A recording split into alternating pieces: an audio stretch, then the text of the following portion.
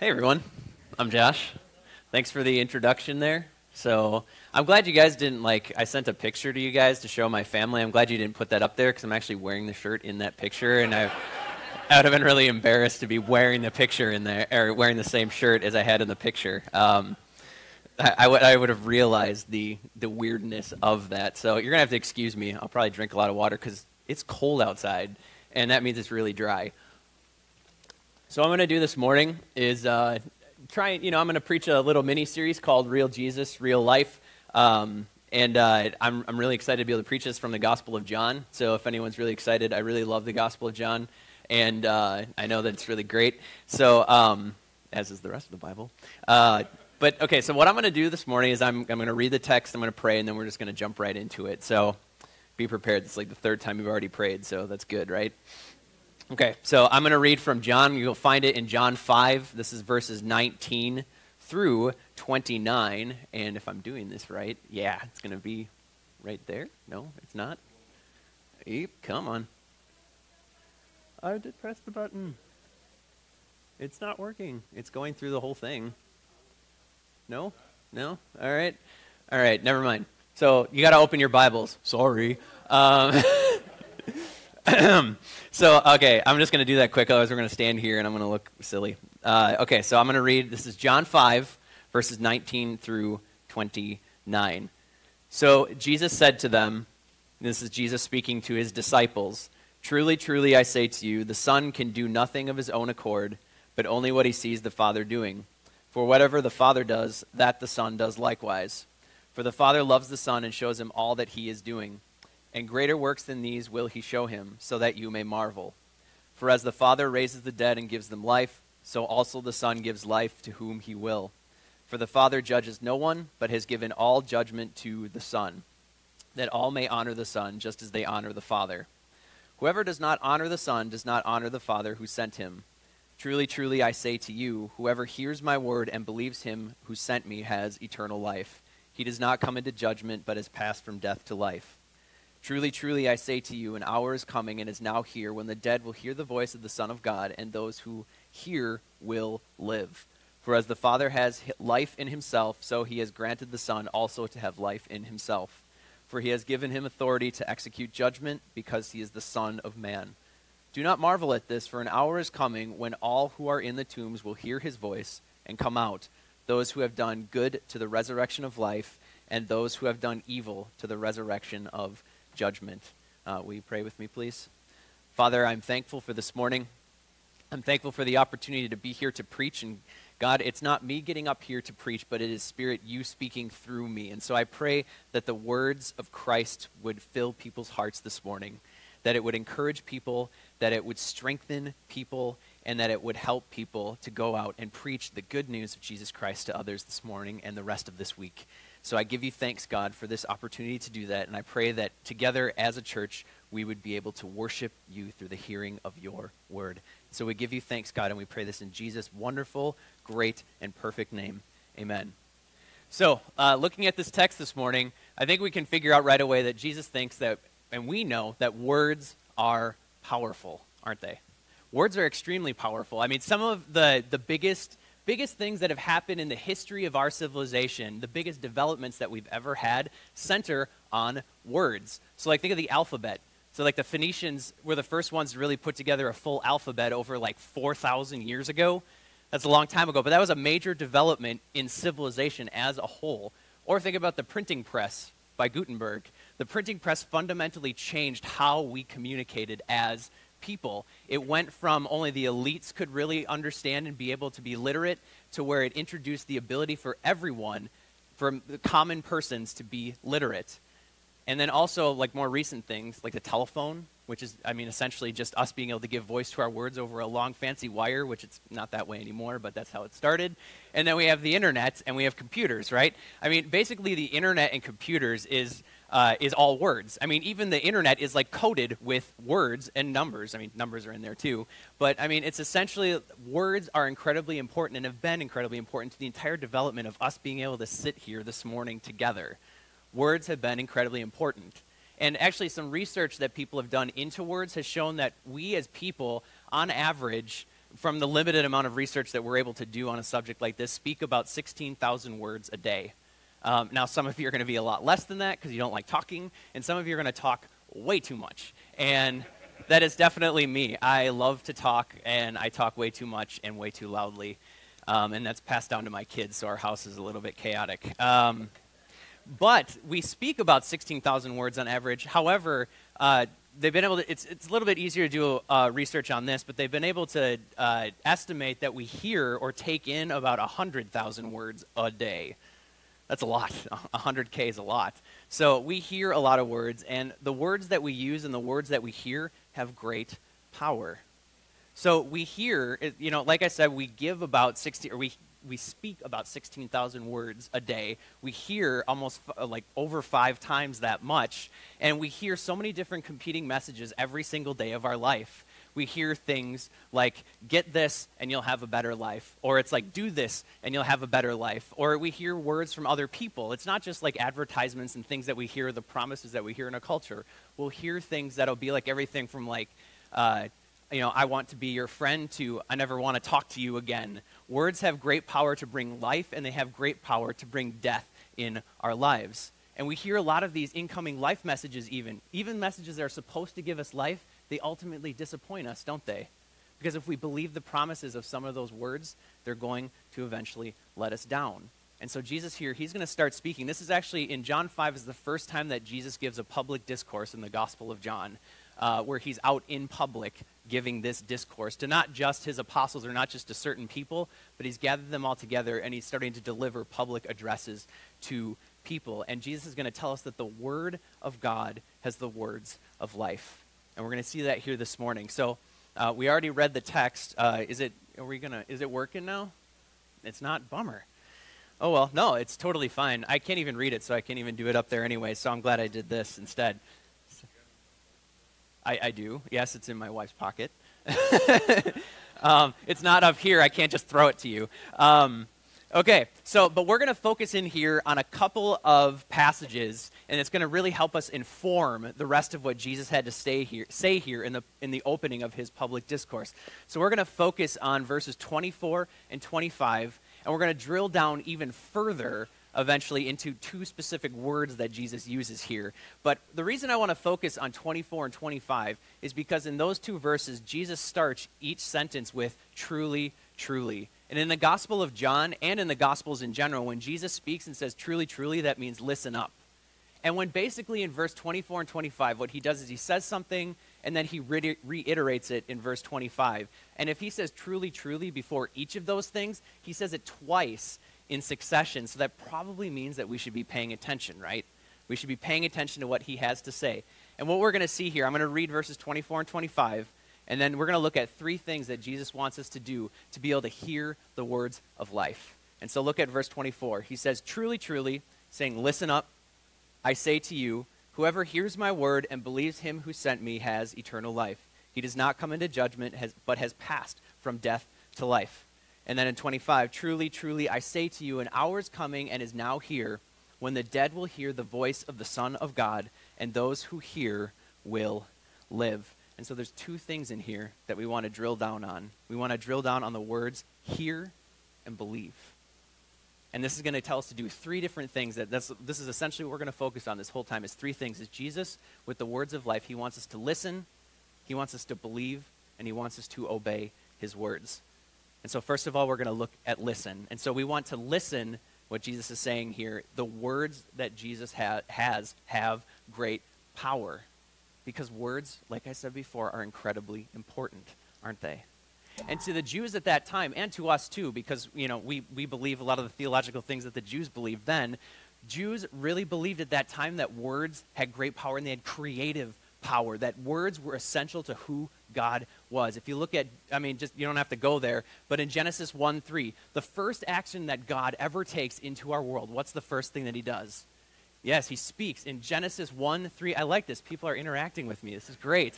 Um, that normally doesn't happen, even with my kids or something. Um, Jesus, in Genesis 1 3, God said, His words have creative power. It says, God spoke, and it was brought into being. Jews and the people, the Israelites, believed that God's words were incredibly powerful because they had the power to create. And it says in the gospel or in the uh, the book of Hebrews, the author of Hebrews says at the beginning of the book of Hebrews, he says, God upholds the universe by the word of his power. Just think about that. God's creative power, his words, his very words hold up everything. You can imagine that when God speaks, it undergirds everything and it's in everything. Just think of it. I had uh, an old mentor who used to say that it's like, just imagine that God's words bind every molecule of existence together. That's amazing. That's why we can be good scientists, right? Because we're essentially just digging in deeper into God's creative world. And God spoke to his people too, right? So his creative, he has creative power and it has creative force and it upholds everything. But also, God's words are incredibly important to establishing our entire lives. And it was, it was essential to the Israelites, to the people this time that would be hearing Jesus, that God's words helped his people and helped shape who they were because the, he spoke through the prophets. He spoke through Moses to give them the law. He promised Abraham through his words that he would build a people. And he gave the other people, the prophets, to hear God's word when things were extremely dire, especially uh, when they were in Babylon and they were in captivity.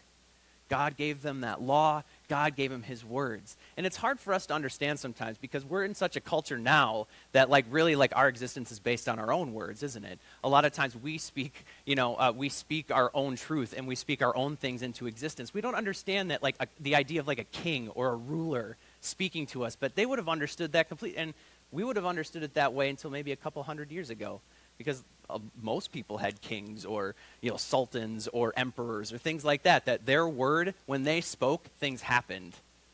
And that's kind of the way things were until recently. But they would have fundamentally understood this. And then john does something really really interesting here. If we go back to the beginning of the gospel of john what does god do? Or what does john do when speaking about god?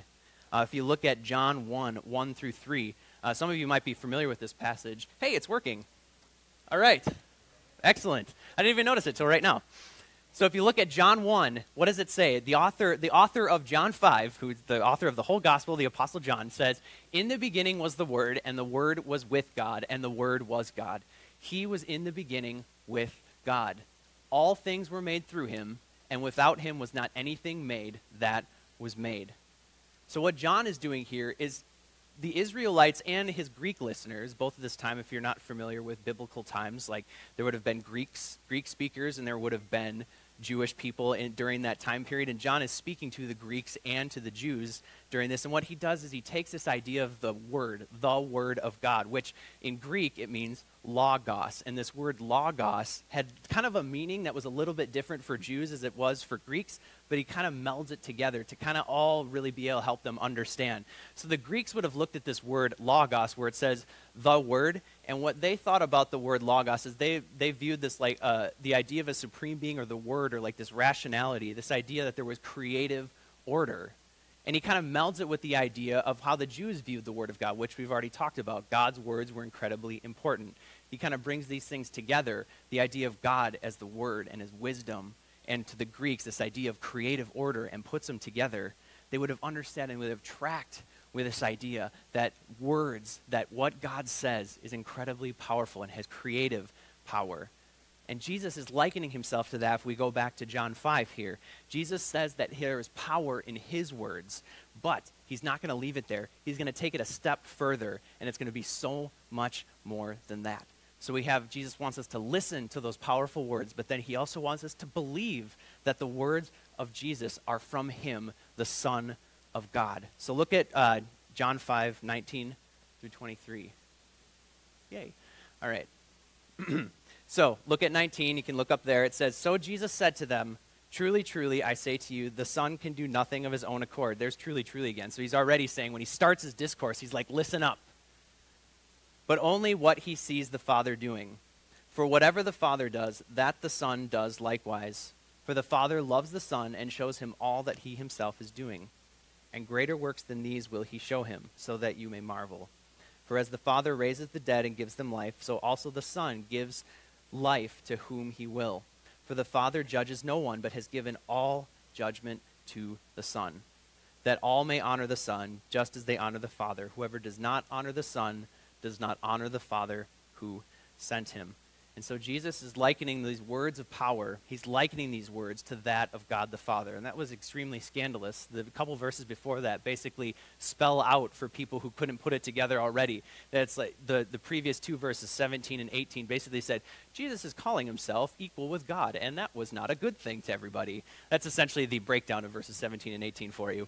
Um, so he's likening that he has the same authority as the Son being sent by the Father. And I mean, if we go back, you know, I said that God gave words to prophets for them to be able to speak the words of God, but the prophets would have done likewise in, in, base, in giving out the words of God and having great power in their words, right? A lot of it's recorded in our Bibles and is the spirit inspired word of God that we use to live our lives. But none of them claimed ever to have equal authority with God, did they? None of them ever talked like that. But Jesus was. He was likening himself to the Father, calling himself equal with God. And we have the whole story. I mean, the disciples would have probably been shocked, right?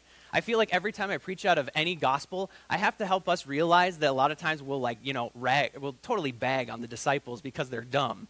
And we need to realize that they, we would have been in the same position as them if we didn't live 2,000 years later. Let's never forget that. The disciples, they only had their story. We've got the whole story all laid out for us, all the way from Genesis to Revelation. God's word for us. So don't bag on the disciples too hard. They are dumb sometimes, but so are we. Um, but then he's going to go on here and he's going to reiterate his claim in verses 26 and 27. Yes. For as the Father has life in himself, so he has granted the Son also to have life in himself. And he has given him authority to execute judgment because he is the Son of Man. And so he's reiterating his claim here in verses 26 and 27. So in 26, he's basically saying, you know, the Father has granted me the same life giving power as he has. And so he's just saying, I'm not an agent or I'm not a prophet. I'm not just bringing the words of God, but I have equal God given authority as the Son of God. And this is kind of like, I, I liken it, I'm a history guy. I liken it to uh, on a battlefield. If they're going to call for like a truce or they're going to try and work their differences out, you know, hey, we've already killed a bunch of our people. Let's try and work it out. Um, they would send a messenger, right, to go out to the other king or the other general, whatever, to kind of like, you know, they're going to parlay about this. This is like the rare times when the king or the general himself would come as the messenger, right? The person who would be sent out in there. There's famous, there's famous things in history where that has happened, where it's really like, these are serious words because the king or the general is here. Because that was dangerous, right? You've got a king or a general just putting themselves out into the field of battle. That's not a good thing. They almost never did that because that wasn't a good idea because they usually ended up dead um, as a result of that. Or I think of it, I think of it this way. Maybe more of a contemporary idea is like whenever I would work at my job, and you know, like uh, you'd get like those memos from the corporate office or whatever, and you'd have to, you know, your manager, your assistant manager would have to have a meeting and go like, okay, guys, I know this is boring, but we got to go through this memo, and they'd talk about whatever the president of the company said. But like there was, I remember there was a time that there was such an important important message that the president showed up at our office and that reminds me, okay, like, whoa, this is really serious because he's showing up to say something. It's not like he was just down the street having a meal and decided to show up. Like, he showed up because his message meant something. So, like, when your boss, or like the boss's boss's boss, shows up for something, you listen. And this is what Jesus is saying is like, hey, listen, the boss is here, listen up. And then in verse 27, he takes it even further because he uses this phrase, this title, Son of Man. And this is used quite often, uh, probably most famously in Daniel 7. And this is really what he's likening it to, because he's referencing specifically to his authority as the judge at the end of all things. Really, kind of in a way, Jesus is saying, hey, listen, I've already likened myself to God's creative power. Now, what I'm saying is that I'm going to be there at the end, too, to judge. He's essentially, before he says it in Revelation, I am the Alpha and I am the Omega, the beginning and the end. I was with God. You know, later he'll say, before Abraham was, I am. You know, that's essentially likening himself to the creative force of God, but then he's saying, I'm the Son of Man. I will, I'm there at the end as well. And so, which is hence why we get verses 28 and 29. Um, I don't have those up on the board, but I still will read those again just to reiterate. He says, Do not marvel at this, for an hour is coming when all, all who are in the tombs will hear his voice and come out, those who have done good to the resurrection of life, and those who have done evil to the resurrection of judgment. He's essentially likening himself to the Son of Man ideology of being the beginning and the end. And so verses 28 and 29, they're really like the end result of what we believe, right? When we believe Jesus is the Son of God, we will listen and we'll believe those words, and they'll shape us into people who either do good or do evil. And that's really kind of the third thing that we want to talk about. We want to listen to his words. We want to believe that he has the words as the Son of God. And third, we want to obey the words of Jesus as the words of life. And so the reason I put this here is because this word here in verse 25 and or verse 24 and 25, this word here, it means to listen, like I used earlier, but it also means literally it means to yield in obedience. That's what that word means. And that would not have been. So, really, what it means is we're not just listening, but we're sort of shaping ourselves around the words that Jesus speaks as the powerful Son of God. And this would have been incredibly familiar for uh, people at that time to hear that word because going back, uh, the word here actually had two connotations that match up with this. So if you look at the famous prayer in Deuteronomy 6, 4 through 7, the Shema prayer, which is a very famous part of Jewish liturgy, liturgy, liturgy um, they would have said, Hear, O Israel, the God is one, is how that prayer starts. And says, Hear.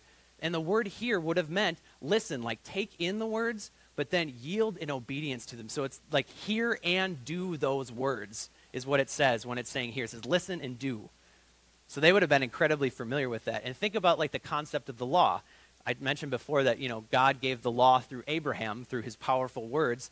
And the law really established these powerful words that they didn't just listen to, but they shaped their lives around it. The Israelites arranged their whole lives around the words of God found in God's law.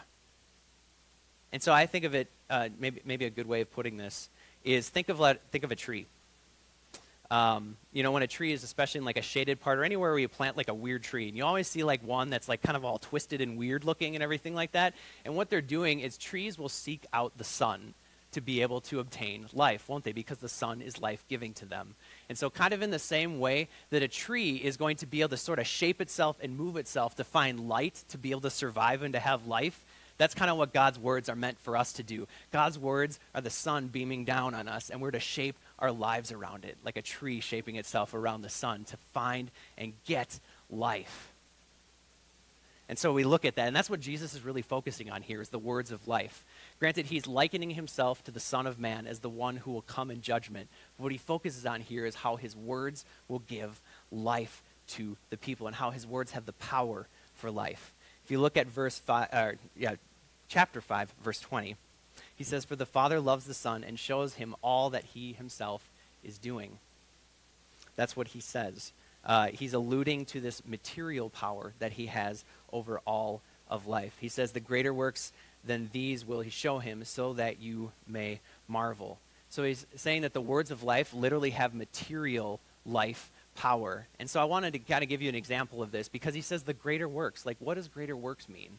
That's kind of a, an odd phrase, right? Like he says basically, like the God's already God's already doing. Whoa, see, this is why um, I taped my notes down um, I told Joe this before, um, but uh, a couple weeks ago I preached at a friend's church, and I had my notes just kind of loose, and I went like this, and they went flying off the stage. And uh, to the video feed of those people, all they saw is me kind of look down, and they just dive off the stage to go get my notes. So um, that was really funny. Um, a- afterwards, everyone was like, "We were totally shocked that you just dove right off the stage to go get your notes," because there was no one in like the first four rows. So I was like, "I guess I got to go get them." So anyways, so now I'm throwing remotes around. Um, sorry. Um, so Jesus is alluding to this material power, this, this physical power of him to have the power of life, because he says, God is doing great work, but I'm doing that work too, and greater works will I do. What is Jesus talking about? Well, he's talking about two things. So the first thing he's talking about is he does have the literal power over life and death. And so I want to go to a famous example in the Gospel of John, in John 11. This is the raising of Lazarus. So what happens is Jesus, he has a friend named Lazarus, and he dies. And, you know, he's basically says to his disciples, like, oh, we'll just walk there. We'll be fine. We'll get there. You know, and uh, he, they tell him that he dies, and, like, if you come quickly, you know, you can save him or whatever. And, you know, he's like, oh, we'll take our time because he's basically doing it to show his power. And he shows up, and everyone's really sad. And Jesus is sad, too. You know, has that, uh, right before this, it says Jesus wept. He was sad for his friend that he had died, and on a deeper level, he was grieving for the fact that death has to exist. And then I'm just going to read a small passage of that here in John 11, 38 through 44. It's right there, right? Then Jesus, deeply moved again, came to the tomb. And this is Lazarus' tomb. It was a cave, and a stone lay against it. Jesus said, Take away the stone. Martha, the sister of the dead man, Lazarus, said to him, Lord, by this time there will be an odor, for he has been dead four days. Jesus said to her, Did I not tell you that if you believed, you would see the glory of God? So they took away the stone, and Jesus lifted up his eyes and said, Father, I thank you that you have heard me. I knew that you always hear me, but I said this on account of the people standing around, that they may believe that you sent me. And when he had said these things, he cried out with a loud voice, Lazarus, come out. The man who had died came out, his hands and feet bound with linen strips and his face wrapped with a cloth. Jesus said to them, Unbind him and let him go. I mean, this is one of the most powerful stories in the entire Bible. Like, it makes me emotional just talking about it because it's amazing. Jesus speaks, and a man is alive again after being dead and stinky for four days. He comes out, and he's alive again. And that's absolutely amazing. He is likening himself. The greater works that I'm bringing is that I will literally raise people from the dead, is what he says. My words have power.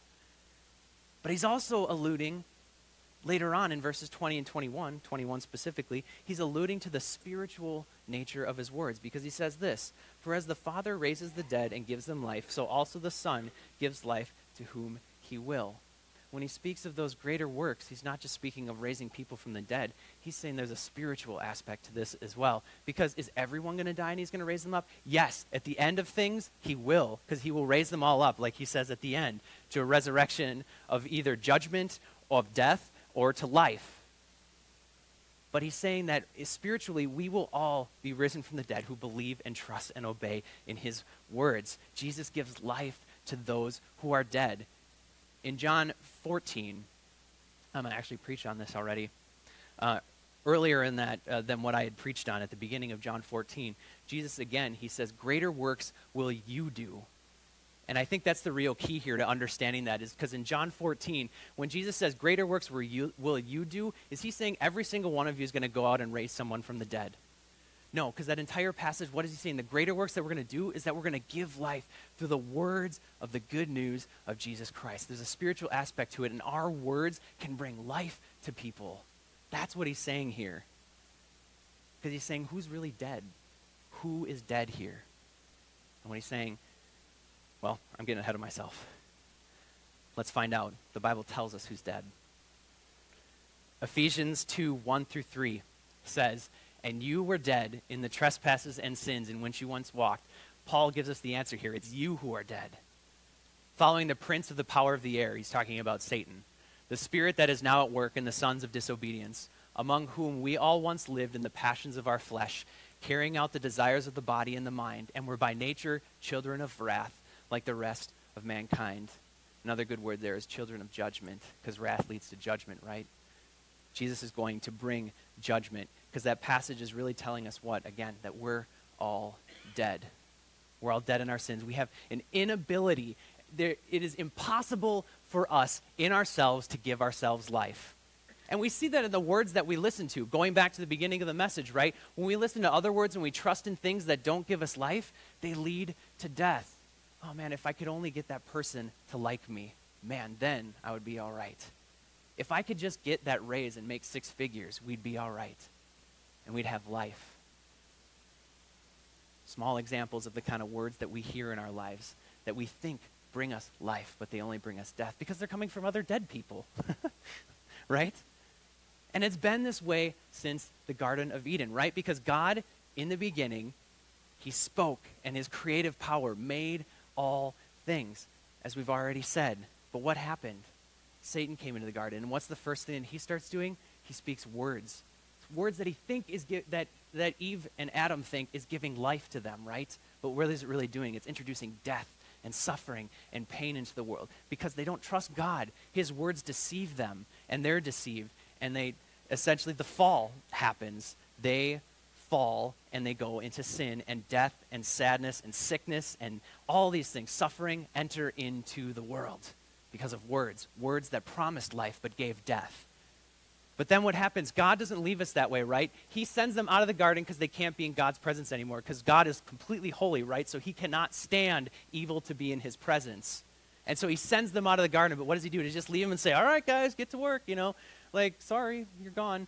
Um, no, he promises them. He gives them the promise in the euangelion, which is just a big word for basically the first gospel proclamation. He promises that he will send a redeemer. And he promises Abraham again that he will build a people that will be a light to the nations. God's words are speaking, promising life.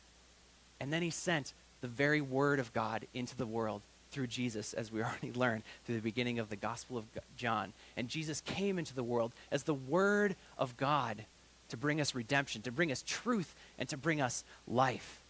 And again, going back to that king on the battlefield analogy, Jesus came into our battlefield of this world and brought the words of life to all of us. Because really, what was happening before Jesus came? We were at war with him, we were his enemies. But he sent the king, the very the son of God into this world to bring life. And then what happens? It's not just a king bringing the message, but he sent the king to die. Because Jesus goes to the cross and he dies for us. And what's the last thing that Jesus does before he dies? He speaks. He says, It is finished. His words say, It is finished. It is done. The battle is over. I have brought life into this world, and I have given myself in your place. The words of Christ give life, and when we trust in him and we believe in him, we are counted righteous. We're counted good before God. The beautiful good news of Christ is the judgment Christ speaks of in this passage was ultimately put on him. We deserve death and judgment as his enemies, believing words of death instead of life. But what happens? We are given life and we're given mercy through Christ, through the Word of God. He came into this world to give us life and to ultimately die to do that. Amazing. Jesus is amazing. And what he wants us to do now with this, he wants us to listen to his words. He wants us to believe that that is true and to obey those, to shape our lives around those things. And what does he want us to do? He wants us to use our words to give life, right? He wants us to give our words to go out there and to give life. I say this to my kids all the time, and it sounds lame, but we use our words to build people up, not to tear them down, because that's what Jesus did. He came into this world to give life, to build people up, to bring life, not to bring death. There is no condemnation for those who are in Christ Jesus, is what Paul says. There is no condemnation for those. But we trust him with life, and we give those words of life. And I think just a little bit, I want to give you a little bit of a, um, how we can do that. So if we look at Proverbs 16:24, it says gracious words, or another way of saying that is kind words. Um, not exactly a direct translation, but gracious words are like a honeycomb, sweetness to the soul and health to the body. And again, this might sound really, really lame, but I truly believe that the best, some of the best things that we can do is to bring kindness into this world. And that is a way that we can give life through the power of Jesus, is through kindness and through gracious words to other people. And that's really more for all the truth tellers out there, right? For all the people that love to tell the truth and maybe just have a little bit too much of an edge of being a giant jerk, um, there's the kindness and the words of life right? But on the other side of that, I want you to understand that this part is for the kind hearted people that won't say the things they're supposed to, because that's me.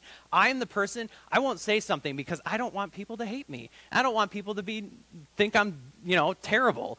And so what I do is I tend to ch- trend towards the kind hearted side. I don't like conflict. Conflict scares the heck out of me, it makes me sweat and turn red. So don't I, I, want you to hear this. Those who are truth tellers have some kindness, have gracious words that are like a honeycomb, sweet to the soul and health to the body. But for the kind-hearted people out there, this is me speaking. Me, this is me speaking to me. Truth. tell truth. Don't trade truth for false unity among brothers and sisters in Christ. Be okay with being able to say truthful things because saying kind things sometimes it's not kind to not tell people the truth. And so we need to remember that, that gracious words sometimes are biting words. Faithful are the wounds of, the friend, of a friend, is what it says in Proverbs also.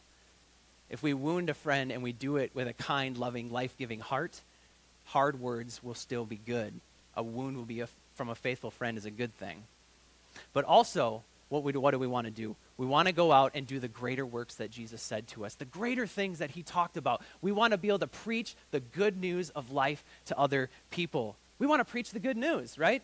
We want to go out, we want to tell other people so that they can listen and then they can believe those words. Go out and tell the truth. And so that doesn't necessarily look like you need to leave these doors and go out and sit on a corner and don't do that today. It's cold. You will get really cold if you go do that. But preach the words in your everyday life. Do that with your kids. That's the, that's the easiest thing I can tell a father or a mother to do is preach those words to your kids. Preach that as a husband and wife to one another because those relationships, they're forced to be around you. So you have to talk to them about the gospel and Jesus because they don't have a choice. They, kids have to live with you. Well, I mean, they don't have to, but they do because they don't have other place to go. So preach the good news to your kids. They'll want to hear it. It might take years to see any fruit from that. But preach the good news to your kids. Preach the good news to your wife. Preach it to your friends. Preach it to the people who are forced to be in your life. And good things will come of it because life will come out of those things. But then also the other thing, we want people to obey, right? So we want to teach other people, and that is through discipleship. That's what Jesus did. The word disciple means learner.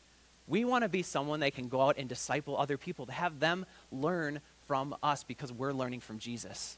And that's really how the world gets changed, doesn't it? Is it's through the simple everyday, everyday discipleship relationships that we have with other people. Big things happen in this world. Big things like the word going out when the printing press came out and the Bibles were able to send all over the world. Big things changed as a result of that, right? It basically was the spark that ignited the not modern missionary movement hundreds and hundreds of years ago. But it was done through everyday relationships. It was done through being learners of Christ together. So I want to encourage you to take initiative to be able to preach the good news and teach Jesus' words, but don't do it alone. I always want to encourage that with everybody. Don't ever go anything alone. I always tell people not to read the Bible by themselves, and then I realize that's a bad thing to say. Read the Bible by yourselves, but don't just do it by yourself. Do it with other people too do life and do community together.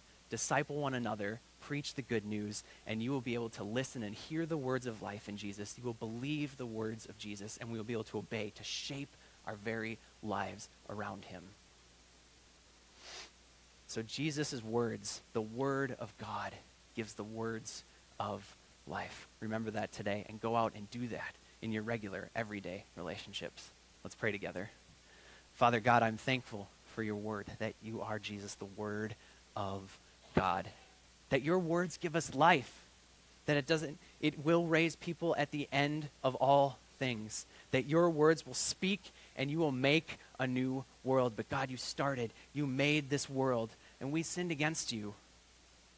And we were separated from you, but you sent the word of God into this world to speak true life into our lives and to ultimately die on the cross and to rise again. And Jesus, we thank you that one day you will return again and your words will be powerful in reshaping this whole world into something where death and sickness and sadness will be gone. And so we pray, God, that you would help us to know and to trust you, to listen to your words, to believe that you have the words of life as the Son of God, and to obey your words because they are powerful and they give us life. God, we give you thanks and we pray this in your Son's wonderful, perfect, and holy name. Amen.